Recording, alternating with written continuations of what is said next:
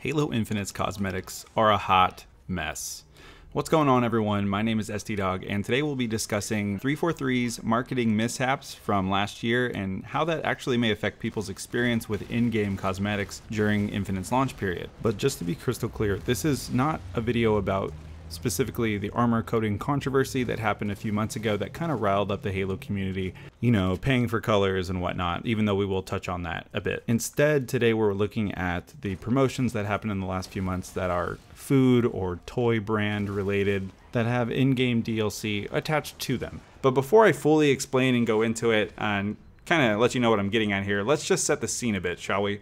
So back in July of 2020, we were mostly all very skeptical about what 343 had shown for a Infinite's gameplay debut, right? Which in turn led to the delay. So unfortunately, the marketing promotions uh, that were planned months ahead of the original release date uh, were unfortunately already in motion, and there was nothing really for 343 to do.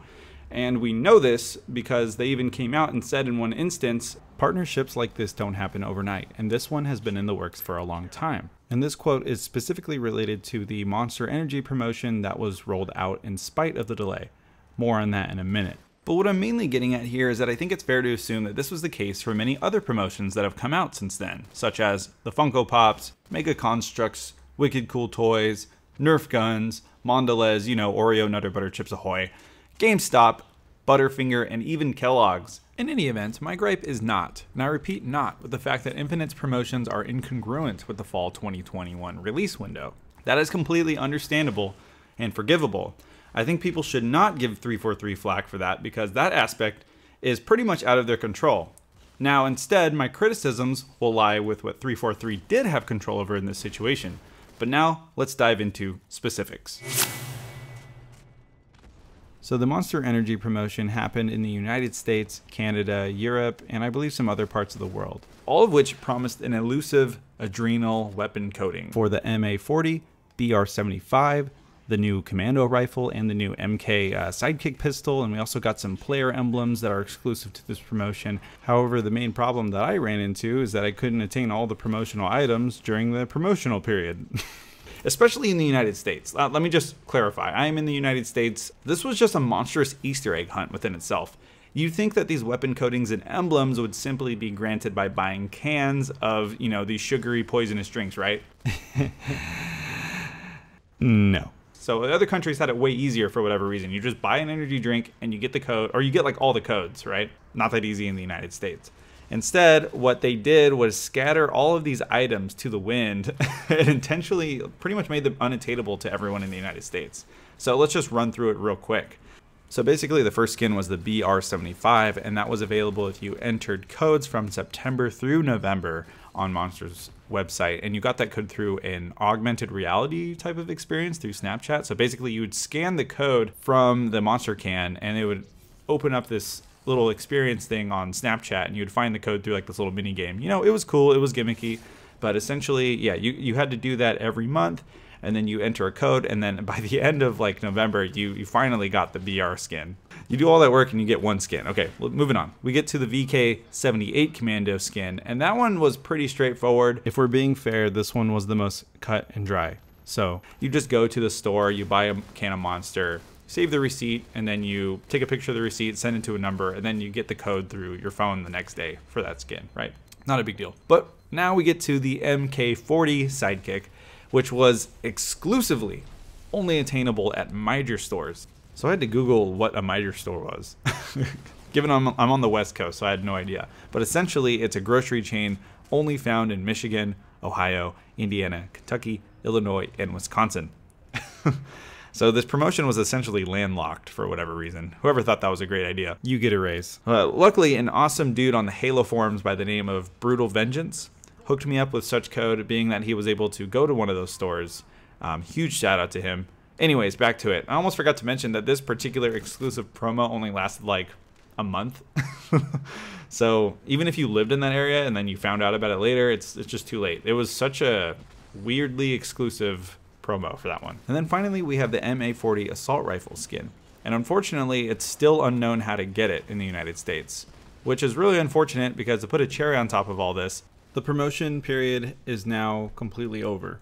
But yeah, mainly I'm just overall baffled that they thought that this was a good idea to basically piecemeal all of these cosmetics and scatter them to the you know the four ends of the earth. but yeah, where do we go from here though? So 343 could down the line, right? They could say, "Well, we're sorry that we didn't, you know, make a clear way to get all these cosmetics. So here they are for free, or here it is to purchase in the store when Infinite's out." I feel like that's kind of a double-edged sword at this point because as I was saying, this was a very big Easter egg hunt within the community, at least from what I saw on the forums. A lot of people were bartering for codes from other countries. A lot of people were just exchanging information. It was a big Easter egg hunt. Like I personally went out to different stores and and kind of, you know, collected as much as I could. I feel like if they were to give out these cosmetics, you know, day 1 or later on, it would definitely piss off that hardcore community who did a lot to get these codes. And then on the other hand, you have a bunch of people who missed out on the promotion because, you know, the promotion was just inherently flawed. And then on top of that, you're going to have a bunch of people who get in day one who may have just not known about the promotion at all. And then they're going to be like, hey, why does that guy have a green and black skin? It's pretty cool. How do I get that? Why don't I have that? In my opinion, I think it's going to bring up a lot of questions around day one that I hope 343 is ready to answer for. You know, um, and, and, I see both sides of the of the argument here. I see uh, an argument for giving these codes away. I see an argument for not giving them away because there are a group of people who scavenge for them, and I think they deserve that exclusivity.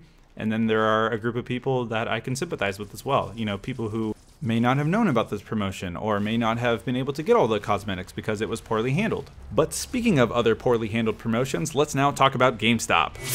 So I'm actually surprised this one kind of flew under the radar. So back in late October of 2020, there was a blog post that announced the Redshift armor coating that was exclusive to GameStop. Uh, this is the armor coating that essentially sparked the whole armor coating controversy. But putting that aside for now, What's important here is that this promotion was going on from November 9th to December 13th, so really only a few weeks here. But the main problem was everyone at GameStop didn't know what was going on.